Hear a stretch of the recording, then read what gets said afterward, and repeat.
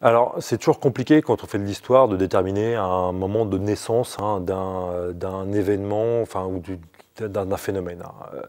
Mais on peut essayer de dater euh, l'apparition de la fantaisie au XIXe siècle, euh, dans un contexte très particulier qui est un contexte de redécouverte du Moyen Âge, ou en tout cas de réimagination du Moyen Âge.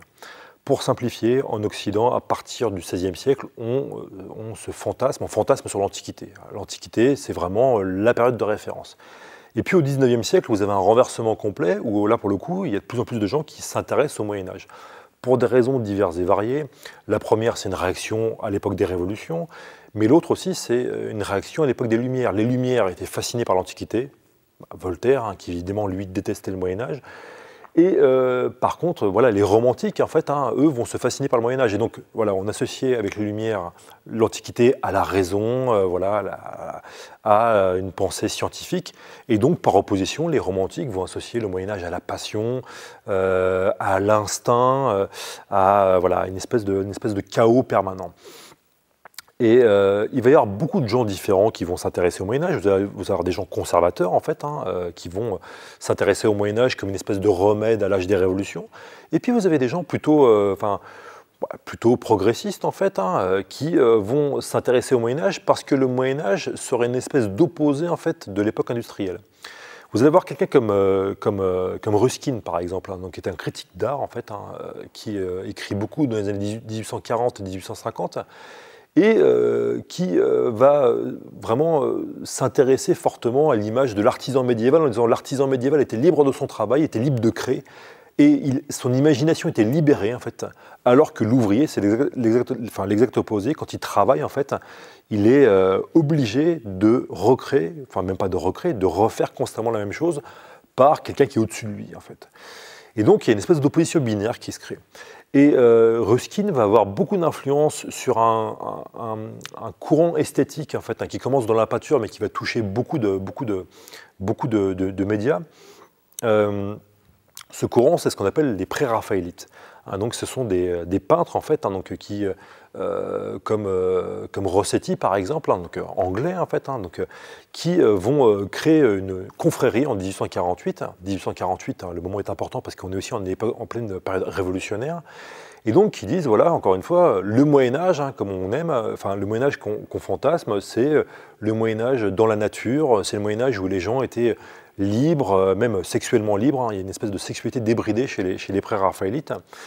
Et euh, ils vont euh, créer beaucoup de peintures, hein, notamment en prenant des thèmes arthuriens, mais pas que. Alors, les pré-raphaélites, après, vont influencer quelqu'un qui fait partie de leur milieu, mais qui ne faisait pas partie des membres fondateurs. C'est un monsieur qui s'appelle William Morris. William Morris, qui, euh, en fait, à partir des années 1870, va commencer non seulement à écrire des romans, mais à essayer de publier, de republier, en fait, des vieilles, euh, des vieilles légendes médiévales, mais en les modernisant.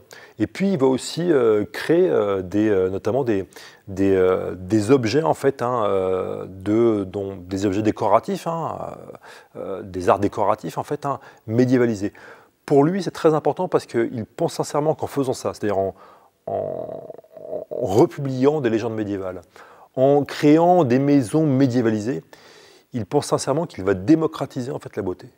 C'est-à-dire que dans un monde industriel triste, le médiéval, enfin le médiévalisme en fait sert à démocratiser la beauté et à libérer l'imagination des gens.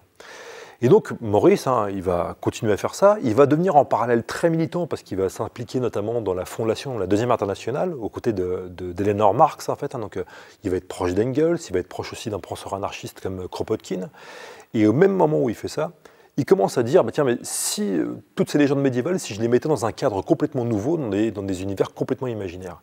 Et il va commencer donc à écrire de ce qui va devenir en fait, ce qui va être qualifié après de la fantaisie. Hein. donc de placer euh, euh, de créer des univers imaginaires médiévalisés, mais dans lesquels il va pouvoir en fait développer toutes ces théories par rapport à la liberté de l'artisan, par rapport à la beauté en fait qui est partout, hein, en opposition en fait à la, à la laideur qui serait partout dans un monde industriel.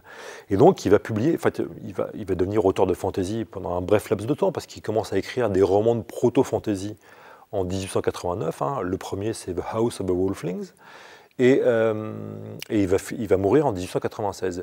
Mais en ce bref euh, laps de temps, il va publier beaucoup euh, de romans de fantasy, comme La source au bout du monde, qui est une espèce de mythe euh, de quête du Graal complètement réinventé, où il y a un homme et une femme hein, qui, partent à la quête du Graal, donc là pour le coup c'est très nouveau, et dans lequel il met en scène justement des univers médiévaux d'une grande beauté, où la nature est partout, en opposition justement à, ce, à cette Angleterre très industrialisée. Et il va aussi faire une chose qui est très importante, c'est qu'il va aussi produire, il, crée sa propre maison d'édition, hein, les Kelm Scott Press, et euh, il va produire des, euh, livres, euh, des livres illustrés notamment, qui reprennent une forme, une forme de, qui reprennent des formes de manuscrits médiévaux en fait. Et pour lui, c'est très important. Donc, c'est des livres illustrés avec des, gens qui sont issus notamment de, de toute cette confrérie pré-raphaélite. Et donc, euh, on voit qu'à travers ça, en fait, il veut aussi, encore une fois, participer à cette forme de démocratisation de la beauté. C'est en fait, il y a non seulement le texte libère l'imaginaire des gens, mais aussi euh, le contenant du texte, en fait. Hein. Donc, le livre sert aussi, hein, livre de, les premiers livres de fantasy servent aussi euh, hein, à exciter l'imaginaire des lecteurs ou des lectrices à travers l'iconographie, à travers l'illustration, à travers le lettrage, en fait, à travers les marges, en fait, qui renvoient à des, à des manuscrits médiévaux. Et évidemment, hein, Maurice va avoir une énorme influence sur Tolkien et sur C.S. Lewis, hein, qui vont être, même si eux sont plutôt des conservateurs, mais qui vont partager avec Maurice hein, une espèce de, crainte, en fait, ou de critique forte euh, vis-à-vis du monde moderne.